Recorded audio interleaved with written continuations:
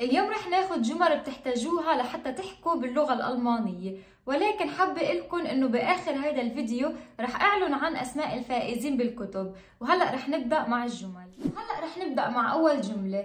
Ich bin dieses Mal mit dir absolut gleicher Meinung بمعنى أنا أتفق هذه المرة تماما معك. Ich bin dieses Mal mit dir absolut gleicher Meinung شخص ما ينتظرك باللغة الألمانية. jemand wartet auf dich jemand wartet auf dich شخص ما ينتظرك.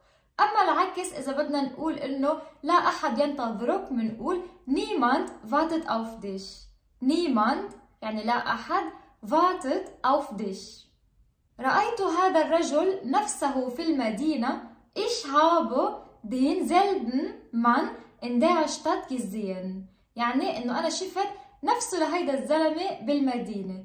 يعني مثلا رجعت شفته بمكان تاني وأنا عم أقول إنه هيدا الزلمة أنا شفته هو ذاته بالمدينة. ja ich habe denselben Mann in der Stadt gesehen إذا بدنا نقول باللغة الألمانية هو نشيط للغاية يعني لأقصى حد بنقول er ist äußerst fleißig er ist äußerst سلايسج طبعا كلمة أوصص بمعنى للغاية لأقصى حد. كان الفيلم ممتع للغاية منقول der Film war ausgesprochen interessant. فيلم Film war ausgesprochen interessant. عنا ausgesprochen بمعنى للغاية يعني كتير. أكل الأطفال إلا ليزا باللغة الألمانية منقول دي Kinder هابن gegessen außer Lisa عنا كلمة außer بمعنى إلا. يعني الأطفال أكلوا إلا ليزا ما أكلت. ja die Kinder haben gegessen außer Lisa وعندنا الجملة اللي بعدها بدنا نقول هو يعمل كل يوم باستثناء يوم الجمعة. يعني هو بيشتغل كل يوم باستثناء يوم الجمعة. بنقول er arbeitet jeden Tag mit Ausnahme von Freitag عندنا هون mit Ausnahme von بمعنى باستثناء. يا فينا نقول مثلا von Freitag von Donnerstag يا فيكم تحطوا أي يوم بدكم إياه.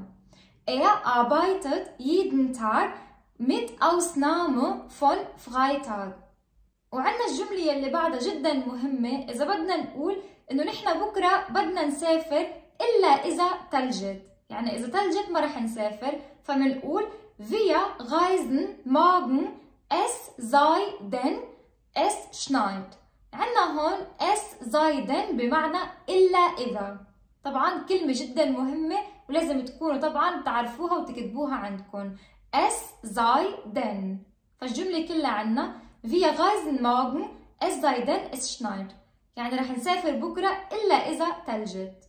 والجملة اللي بعدها عنا لقد أتيت إلى هنا مرات عديدة باللغة الألمانية بنقول ich bin mehrmals hierher gekommen ich bin mehrmals hierher gekommen عنا طبعا كلمة mehrmals بمعنى مرات عديدة وهي كلمة جدا مهمة يمكننا أن نلتقي فيما بعد أو لاحقا باللغة الألمانية بنقول wir können uns nachher treffen wir können uns nachher treffen عندنا هون nachher بمعنى إنه فيما بعد أو لاحقا. لم نراهم منذ ذلك الحين باللغة الألمانية بنقول wir haben sie seither nicht mehr gesehen. Wir haben sie seither nicht mehr gesehen. عندنا هون كلمة seither بمعنى إنه منذ ذلك الحين. وكلمة جدا مهمة. والجملة يلي بعدها عنا إذا كان في شخص كبير بالعمر ولكنه إنه كتير نشيط يعني مثلا بيعمل رياضة وبدنا نقول إنه صحيح هو كبير بالعمر لكنه كتير نشيط بنقول er ist zwar alt aber sehr aktiv er ist zwar alt aber sehr aktiv يعني صحيح هو كبير بالعمر لكنه كتير نشيط. هو فعلها عن قصد باللغة الألمانية بنقول er hat es absichtlich gemacht er hat es absichtlich gemacht عنا هون absichtlich بمعنى عن قصد يعني هو عمل هيدا الشيء عن قصد إذا بدنا نقول لشخص من الأفضل إنه تبقى هون بنقول es ist besser dass du hier bleibst es ist besser يعني من الأفضل أو من الأحسن dass du hier bleibst إنه تبقى هون من المنتظر أن يصلوا غدا باللغة الألمانية بنقول es ist zu erwarten dass sie morgen ankommen es ist zu erwarten dass sie morgen ankommen من المؤسف أن ترفض الدعوة باللغة الألمانية بنقول es ist zu bedauern dass du die Einladung ablehnst es ist zu bedauern يعني من المؤسف dass du die Einladung ablehnst يعني إنه بترفض الدعوة. من الصعب أن تقنعه بذلك باللغة الألمانية بنقول es ist schwierig dass du ihn damit überzeugst ja es ist schwierig يعني من الصعب dass du ihn damit überzeugst يعني إنه انه تقنعه بهيدا الشيء. إذا بدنا نقول البيت بعيد جدا من هنا باللغة الألمانية بنقول Das Haus ist weit weg von hier.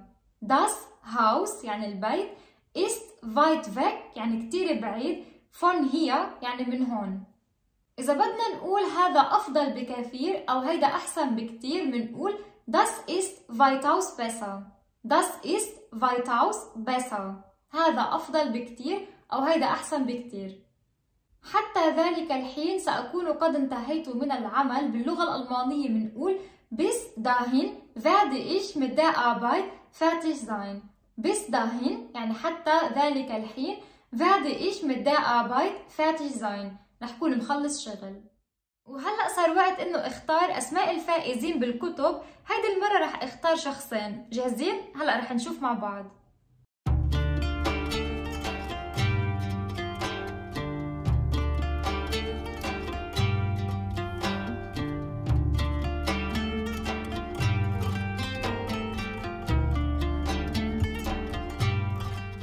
مبروك للأشخاص اللي ربحوا بالكتب وأكيد الأشخاص الباقيين بتمنى إنه بالمسابقة الجاية أنتم كمان تربحوا لأنه الكتب جدا مهمين. بتمنى يكون درس اليوم عجبكم وتعلمتوا جمل جديدة ممكن تستعملوها بحياتكم اليومية أو إنه بشكل عام باللغة الألمانية بحس إنه ممكن يجي وقت وتحتاجوهم فلهذا السبب إنه لازم تحفظوهم وتكتبوهم عندكم لأنه جدا مهمين. وإذا عجبكم درس اليوم ما تنسوا تعملوا لايك وتشتركوا بالقناة وتفعلوا الجرس لحتى يوصلكم كل شيء جديد أنا بنزله وبشوفكم بالدرس الجاي. تشاو!